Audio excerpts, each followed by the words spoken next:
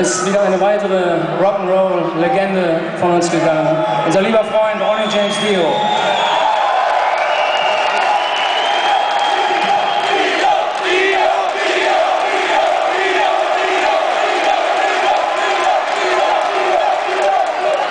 Ich möchte bei Ronnie einen Song spielen, den widmen. Hier ist Sandy Ranger.